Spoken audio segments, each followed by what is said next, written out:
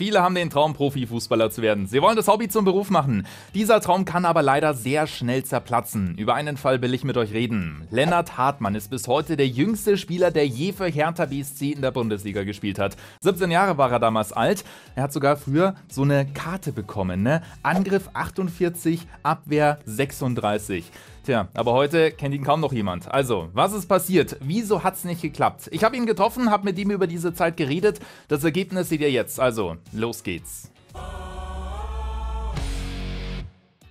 Hier jetzt direkt mal die Frage an euch. Wer war euer Lieblingstalent, das es aber nie so richtig an die Spitze geschafft hat? Postet da gerne ganz viele Namen unten in die Kommentare. So, Lennart Hartmann kommt aus Berlin. Als Elfjähriger hat er zum ersten Mal die Schuhe für Hertha BSC geschnürt. Jeweils in der höchsten Liga spielte er gegen die besten Vereine und dort konnte er mehrere Duftmarken setzen. In der B-Junioren-Bundesliga gewann Hertha mit ihm die Staffel Nord-Nordost. Hartmann erzielte da acht Tore, jeder sah, okay, dieser Junge hat extrem viel Potenzial. Er ist technisch stark, dazu agil, im zentralen Mittelfeld hat er sehr viel Spielwitz mit reingebracht.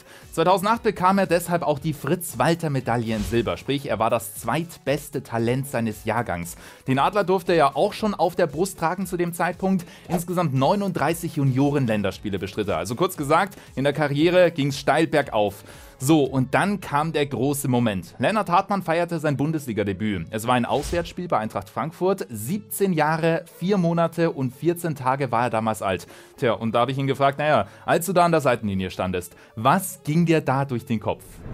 Eigentlich gar nicht so viel, weil es sind so viele Eindrücke, die du da gewinnst, die, die, die lauten Zuschauerränge, diese ja, besondere Kulisse und ja, alles ist irgendwie so, so völlig fernab der Realität. Und plötzlich wird dann dein Trikot hochgehalten und du weißt, oh, jetzt ist der Moment. Und ich glaube, so richtig realisiert habe ich das erst ein paar Tage später.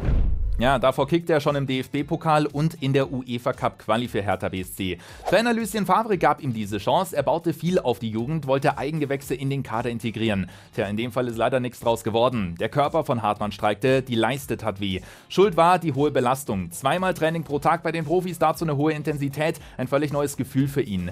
Ernst hat das bei Hertha BSC leider nicht jeder genommen. Da hieß es nur, ach, das läuft sich wieder raus, stell dich nicht so an. Ja, ein 17-Jähriger hat halt nichts auf einer Liege zu suchen. Dachte man zumindest. Die Probleme wurden immer schlimmer. Fünf Monate lang ging Hartmann von Arzt zu Arzt. Keiner wusste so richtig, was los ist. Und am Ende fuhr er deshalb zu Dr. Hans-Wilhelm Müller-Wohlfahrt. Ihr alle kennt ihn, er war der Arzt des FC Bayern und von der deutschen Nationalmannschaft. Seine Diagnose, ja, Hartmann hat einen angeborenen Hüftschaden. Der hat sich das Ganze angeschaut und hat mich dann auf einen Physiotherapeuten Josef Scharthauser verwiesen. Ähm, ja, offenbar ein ziemlicher Geheimtipp, weil man hat dort ziemlich bekannte Persönlichkeiten in der Praxis auch getroffen, obwohl der gar nicht selber in München war, sondern irgendwo in Traunreuth auf einem, auf, auf einem Dorf, für meine Begriffe. Ähm, aber unglaublich, er hat es wirklich geschafft, dass ich innerhalb von zwei Wochen wieder fit war und spielen konnte, was vorher in Berlin fünf Monate Leute ihr vergeblich versucht haben. Ja, eine echt harte Zeit.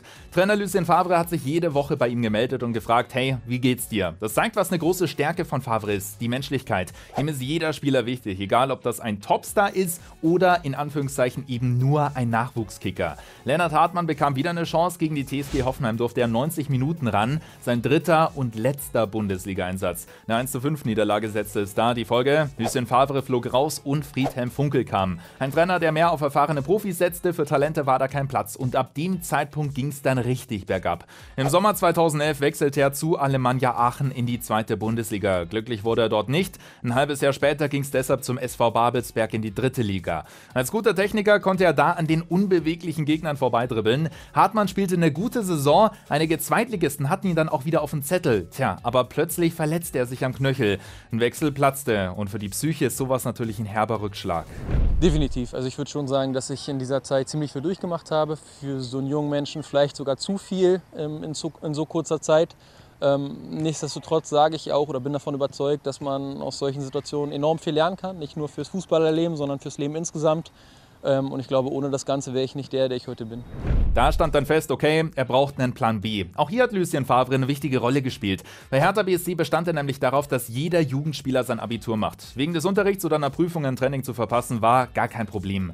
Dank des Schulabschlusses konnte Hartmann also mit einem Studium beginnen. Er wollte eine große Herausforderung, sprich einen schweren Studiengang. Zwei Möglichkeiten gab's: Jura oder Medizin. Weil er Blut nicht so gerne sieht, entschied er sich am Ende für Jura. Ja, die Fußballschuhe wollte Hartmann aber nicht an den Nagel hängen, deshalb kickte er noch in der Regionalliga. Erst beim beim Berliner AK und dann bei Tennis Borussia Berlin. Im Anschluss ging es noch in die sechste Liga zur VSG Altklinike. Da hatte Lennart Hartmann dann wieder richtig Bock auf Fußball. Kleiner Fun Fact, er wurde sogar deutscher Nationalspieler. Ja, das ist eine coole Geschichte. Im Futsal, das ist Hallenfußball mit kleineren Toren und ohne Banden. 2016 gab es da das erste offizielle Länderspiel. Der Gegner war England, ein 5 zu 3 Sieg. Aber lange konnte er dann nicht Futsal spielen und der Grund ist komplett logisch.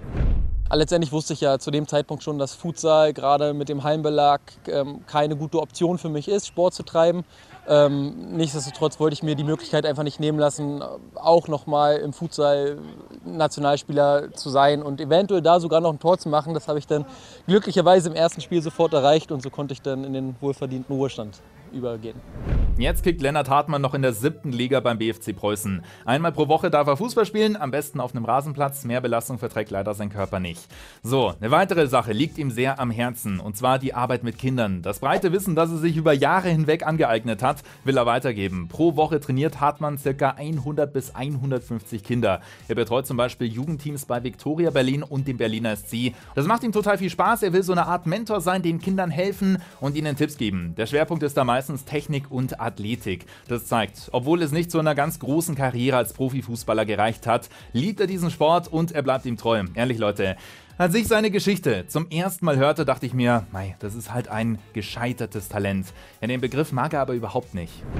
Ich finde das immer so hart und gar nicht unbedingt treffend, weil letztendlich ich bin da angekommen, wo ich ankommen wollte. Ich habe gesehen, wie das Leben sein kann als Fußballprofi habe sicherlich viele schöne Seiten des Fußballgeschäfts erlebt, habe aber genauso viele negative mindestens auch erlebt. Und ähm, für mich persönlich muss ich sagen, haben die letztendlich auch ähm, überwiegt. Und ähm, von daher würde ich sagen, ich bin gar nicht unglücklich mit dem Leben, so wie es gekommen ist. Weil in der Fußballerkabine führst du sicherlich nicht die gleichen Gespräche wie in der Uni. Ja, also es hat alles Vor- und Nachteile, würde ich sagen.